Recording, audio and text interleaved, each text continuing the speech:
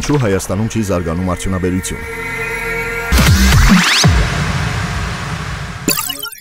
Ինչպես հայտնի է, վերջին տարիներին նավթի եւ բնական գազի գները շեշտակի անկում են ապրել, ինչը էական հարված է հասցրել բոլոր նավթարդյունաբերող պետություններին։ Ու թեև նավթամթերք եւ գազ ներմուծող երկրների մեծ մասը միմիայն շահեց այդ գնանկումից, սակայն Հայաստանը ի հեճուկ ըստ տրամաբանության էական վնասներ ունեցավ։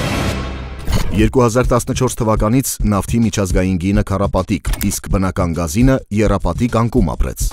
Այս անկումը շատ դրական անդրադարձավ Ճապոնիայի, Ամերիկայի եւ Եվրոպայի տնտեսությունների եւ հատկապես արդյունաբերությունների համար, քանի որ վերջիններս սկսեցին ավելի քիչ գումար ծախսել բենզինի, դիզելի եւ բնական գազի վրա։ Այդ գնանկման պատճառները տարբեր են, բայց հիմնականում այն պայմանավորված է Ամերիկայում թերթակարային տեխնոլոգիաների զարգացմամբ եւ աշխարհում առաջարկ պահանջարկ հարաբերակցության խախտմամբ։ Սակայն Հայաստանում բենզինի գինն այս ընթացքում նվազեց ընդամենը 20-ից 25%-ով, իսկ Գազպրոմ Արմենիայի կողմից մատակարարվող բնական գազը բնակչության համար մնալով նույնը, շուրջ 20%-ով թանկացավ արդյունաբերական հիմնարկների ու գազալցակայանների համար։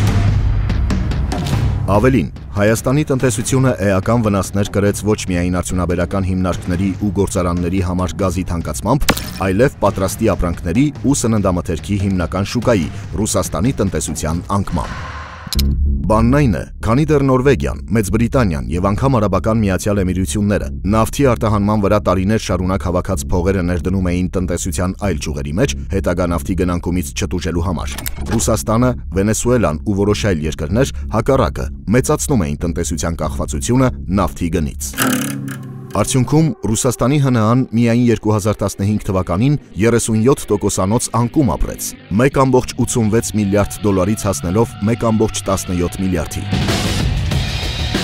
Ռուսական ռուբլին ավելի քան կրկնակի արժեզրկվեց, իսկ բնակչության գնողունակությունը էական անկում ապրեց։ Այդ ամենը շատ լուրջ անդրադարձավ Հայաստանի տնտեսության եւ մասնավորապես արդյունաբերության վրա։ Թեև Հայաստանի հիմնական առևտուրը կապված է Եվրոպայի հետ, սակայն արդյունաբերական արտադրանքները, պատրաստի ապրանքները ու սննդամթերքը մեծամասամբ գնում են դեպի Ռուսաստան, քանի որ Եվրոպայի հետ մենք չունենք այնպիսի պայմանագրեր, որոնք կօգնեին ազգային արտադրողներին։ Սակայն այդպիսի պայմանագիր կնքելու հնարավորությունը կար 2013 թվականին։ Ավելին, կար արդեն բանակցված եւ վերջնականապես պատրաստ ասոցիացման եւ խորը համապարփակ առևտրի պայմանագիրը, որի ստորագրմամբ Եվրոպան կվերացներ հայկական արտադրանքի համար արկա թղթաբանական եւ մաքսային խնդիրները, իր շուկայի դռները բացելով Հայաստանի անգամ փոքր ձեռնարկությունների, գործարանների ու ֆերմերների համար բայց այդ պայմանագրի ստորագրման փոխարեն Հայաստանը մտավ Եվրասիական տնտեսական միություն, ինչը արդարացվում էր այդ միության 170 միլիոն բնակչություն ունեցող շուկա մտնելու հնարավորությամբ։ Սակայն այդ 170 միլիոնանոց շուկան ճգնաժամի մեջ հայտնվեց, եւ հայկական ձեռնարկությունները ոչ միայն չստացան նոր գնորդներ, այլև ստիպված եղան կրճատել արտադրանքը ու կանգնել փակման եզրին։